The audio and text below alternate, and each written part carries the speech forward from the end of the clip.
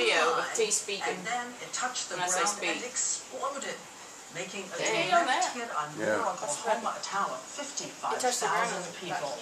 The president Why had been videoing? briefed and, as we said, already fifty tornadoes have was hit in six states in twenty-four hours. Mm. At this moment, you, Lord, it didn't fifty-five come million people are still in the path of the brutal storm, stretching from Texas to Minnesota.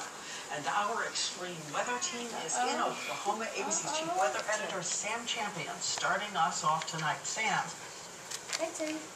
Diane, today's massive tornado is kind of being called the